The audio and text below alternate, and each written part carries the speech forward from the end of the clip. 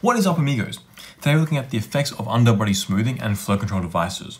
So in other videos we talked about the underbody a little bit, we're going to go through this in more detail in this video. So if you have a regular car, let's say the underbody we're looking at here, and we have the flow coming on here, so this is the underbody, we have a lot of things that are often exposed here. We might have a fuel tank and some running gear and some air coming in through the radiator and etc and it comes out from the bottom and we might even have a spare tire somewhere as well. All of these components and more mean that the underbody is very jagged, it's very rough. And what happens is the flow comes along, hits some of these things, and then it might separate, and then we get a high uh, pressure at the front, low pressure at the back. That increases the pressure drag, as well as some friction drag, just because the surface roughness of these things are often quite rough, and that increases the drag of the entire vehicle. So one way around this is we can cover these sections up.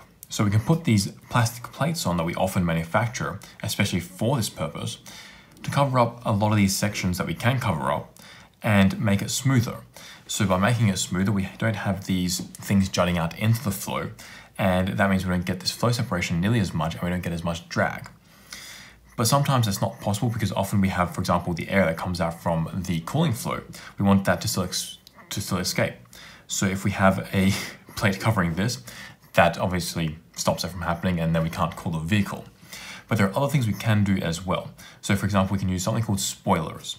So depending on where on the underbody we're using a spoiler, we can call them different things. So if we have a regular car at the front, let's say, this is the front of the car, and we have the flow coming in, and it might be situated a certain distance from the ground.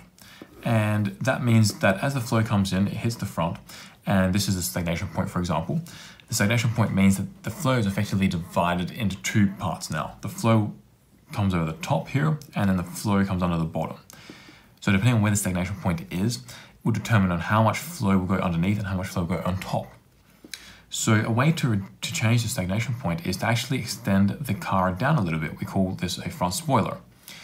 What this does, the stagnation point moves down a little bit, and that means that the flow that's coming in comes, still comes in and hits this point, and then it gets redirected over the top and underneath. But the amount of flow that now goes underneath is less because we don't have the stagnation point as high. Less of the fluid is directed down. Also, having this spoiler here really reduces how much flow can come underneath the car as well. What this does is effectively isolates the underbody part from the oncoming flow and reduces how much flow hits this underbody part and then can reduce the drag through that way. Now we do get a drag penalty in terms of this setup because we obviously have a greater frontal area and the flow just coming in the front and hitting it. But because we can reduce how much flow hits the underbody, often we can reduce the entire drag of the car just through extending the bottom of this vehicle here, the front of it, that's the front spoiler.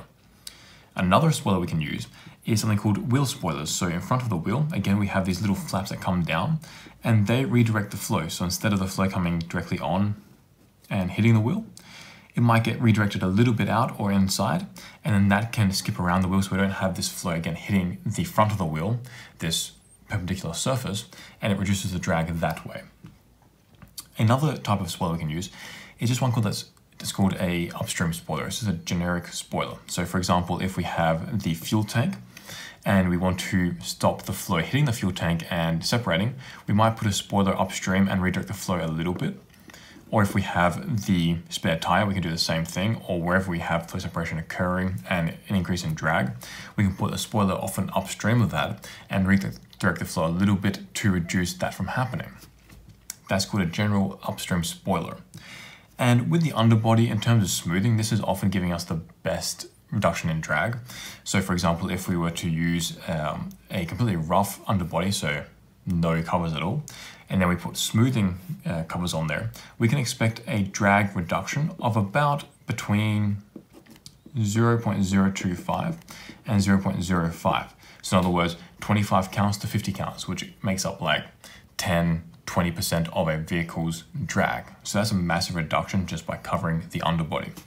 If we were to use these spoilers, often we'll get maybe for the front spoiler wheels and upstream, depending on where we're what we're looking at, we might get between five counts and 15 counts, um, depending on the vehicle and what we're looking at.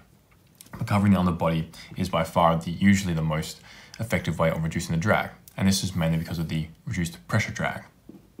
If you don't know what reduced pressure drag is, or pressure drag in general, check out our Aero Fundamentals video on that, which I'll link in this card here.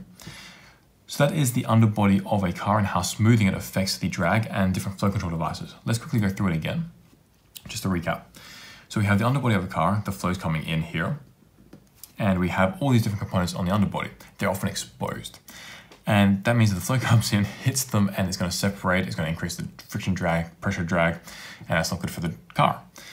If we can cover these surfaces with flat plates, so they're smooth, that dramatically reduces the roughness effectively of the underbody. You don't have nearly as many of these objects protruding out into the flow.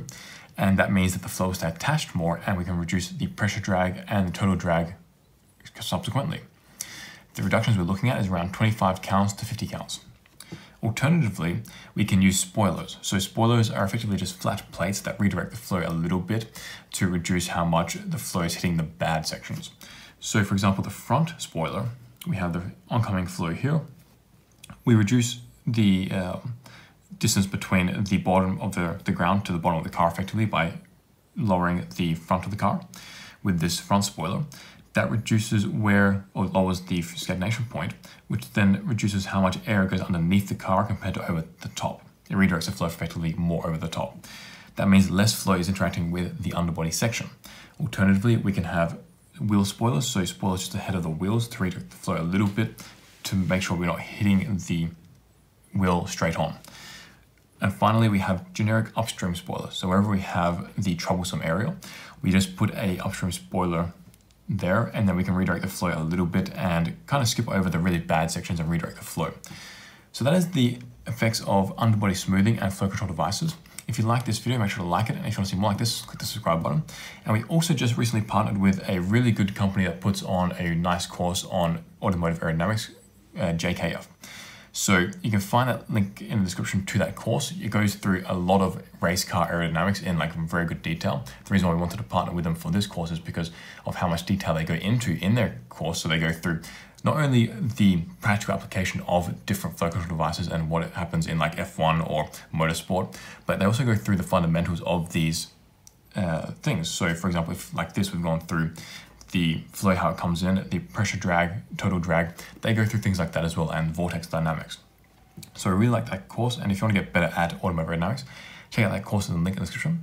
And I'll see you next video. Peace and amigos.